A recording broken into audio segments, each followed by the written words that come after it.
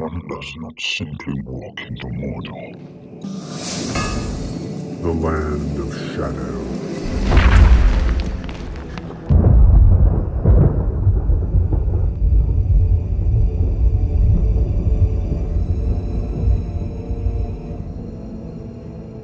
Hey everybody, welcome back. Uh, in today's Shadowcast, we are featuring a breakdown of the first episode, A Shadow of the Past, from The Lord of the Rings, The Rings of Power. Uh, I have to say, I like the callback to the Lord of the Rings with that title. I think that's a great way to start. Um, before I begin, though, there are a few things I'd like to share about the about the impressions that I have so far of the show. Um, I have now watched it, uh, each of the two episodes, three times each, and with each viewing, I start to like it better. Um, I think this is going to be a successful series. Uh, it may not be perfect, but um, I think overall this is going to be an exciting series to watch. Am I happy with the ways that they have broken from canon? Absolutely not. And there are issues that I have with the story um, and some of the characters. Um, however, that is not going to stop me from enjoying watching this series uh, from beginning to end. I'm I've decided to go into it with a positive thought about it and really hope for the best. I really won't be able to evaluate it 100% until we get to the end, but so far I really like what I see. Um, one of the things that I think is important to point out is that The Lord of the Rings and The Hobbit were narrative stories. However, this series is really not based on a narrative at all.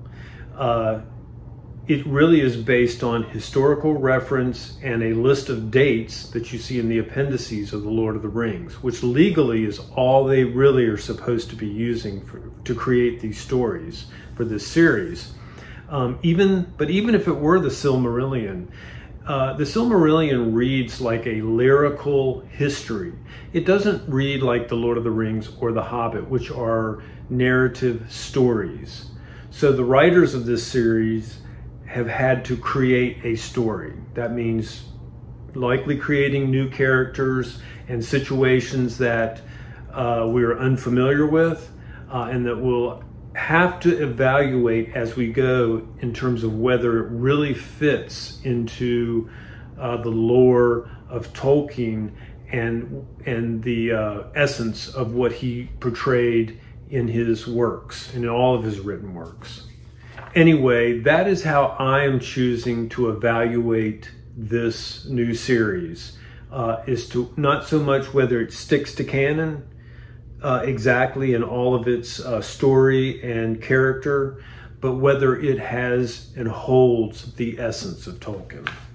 So that's all I'm going to say about that at this point. Now let's dive in for all the dark things we saw in the first episode, A Shadow of the Past in the land of Mordor, where the shadows lie.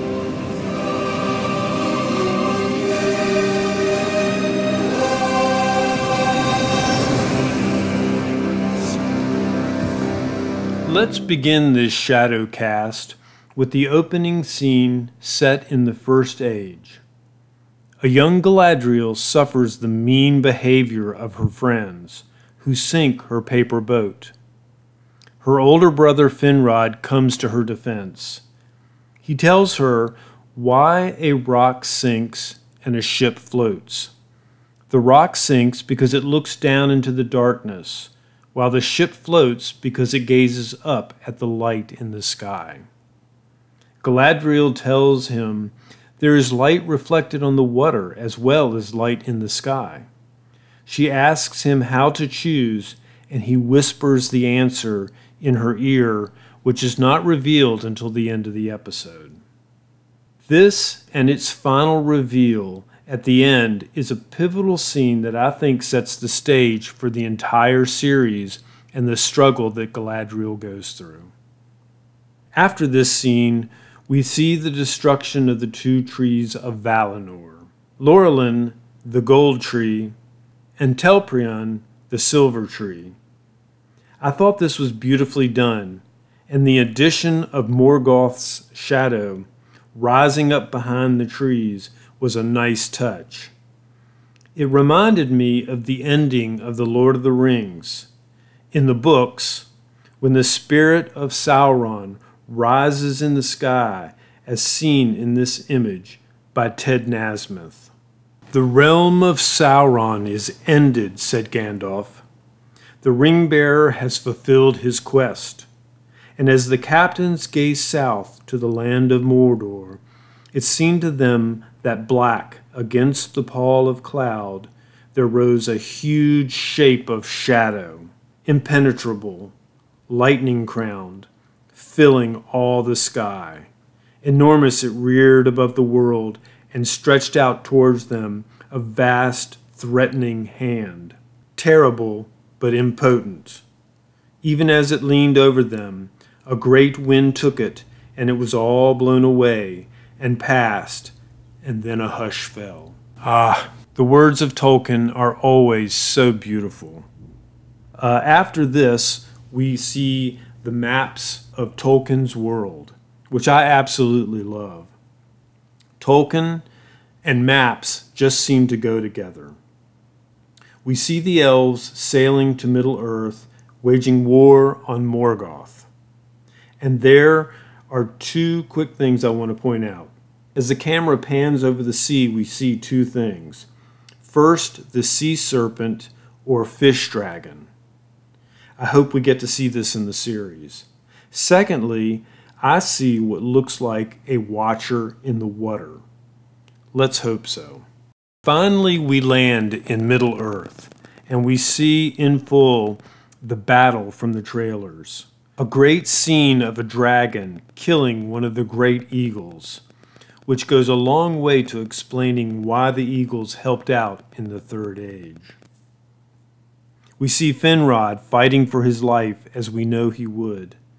Then we see orcs doing terrible things. Finally, we get our first look at Sauron, surrounded by orcs, who flock to him after the fall of Morgoth. It's a great shot, and he is seen wielding a massive spear. Love this.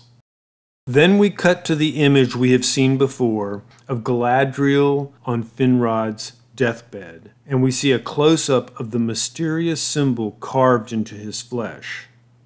Now, I have heard rumors that this might be a directional symbol for Mordor. The more I think about it, the more I believe this might be true. As you can see here, the map of Mordor overlaid over the symbol, you can kind of see they have a very similar shape. But we'll just have to wait and see. Next, on our dark circuit of the first episode, Galadriel discovers the evil fortress. Could this be Angband? Canon states that Angband was utterly destroyed during the War of Wrath and the destruction of Beleriand. But it looks like it might be, or possibly could be if they don't stick to canon. We can't say for sure at this point, but it is a good possibility. Galadriel discovers a hidden dungeon, a torture chamber.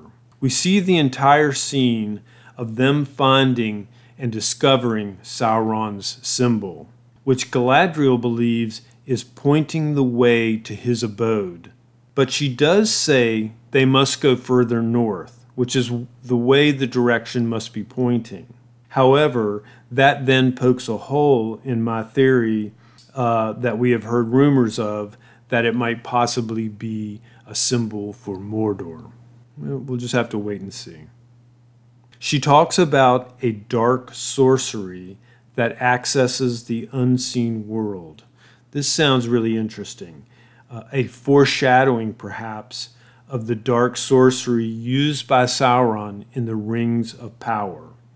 I love this whole scene. It really sets the mood of the evil that, that we're going to be seeing in this series. Next, we see the Battle of the Snow Troll. We get to see him in full during this sequence.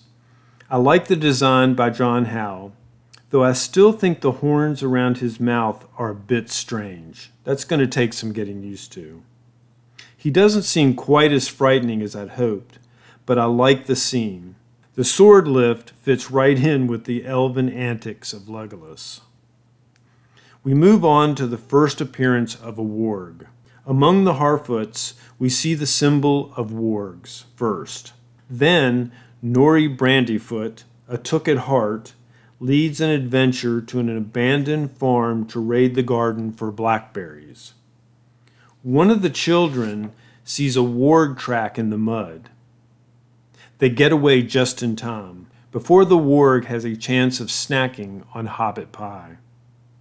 I will have to see more of these creatures before making up my mind if I like the way the wargs look in this series. We now move on to the Southlands, which appear to be further east of Mordor rather than in it as we first thought. We learn the elves are leaving, and the leader of the elves tells Arondir that the, that the men they have been guarding are evil and they should be glad to be rid of them. Arondir says nothing to this, but rushes off to Bronwyn to profess his love. They discover a sick cow with milk gone bad after it strays into another village. Arondir and Bronwyn go to seek it out, and they find the village burning and deserted. I think the orcs who attacked the village were hungry. If you look here, I wonder if this mountain range on the left are the Ash Mountains. Maybe. Now we pick up the story of the evil sword. Theo, son of Bronwyn, leads another boy to the barn of Waldreg, where under the floorboards he pulls out the broken sword. The other boy cuts his finger on the blade and then runs away when they hear someone coming. Theo holds up the blade and we see Sauron's symbol, which erupts in a fiery vision much like the one that Galadriel sees when she uncovers the symbol in the stone.